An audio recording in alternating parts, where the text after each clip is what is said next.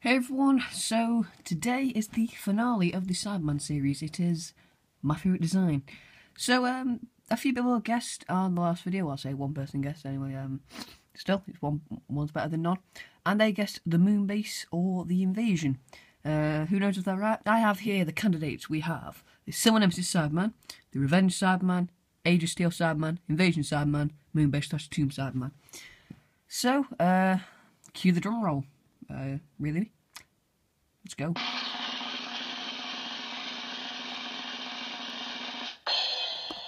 It is the Invasion Cyberman.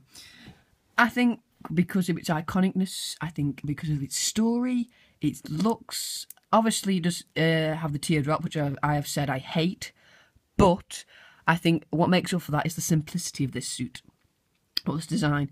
The the head, this is my favourite classic head. The uh, things at the sides with the handle, so that I. Actually, I really do like the uh, Revenge as well, but this one I prefer.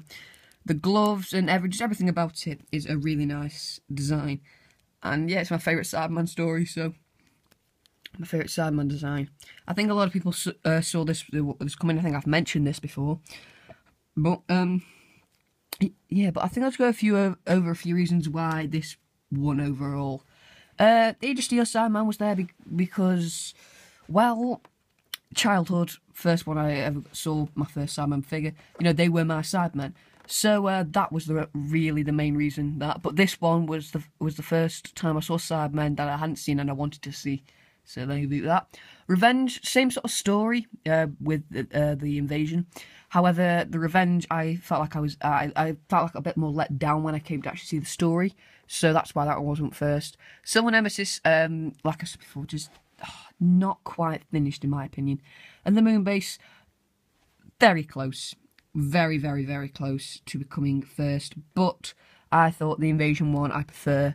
I thought which one, well, because I have four of them, and which one do I prefer? To, would I prefer to look at? I prefer to have as a full scale model, and I would prefer to have the invasion. I really would. It is such an interesting design.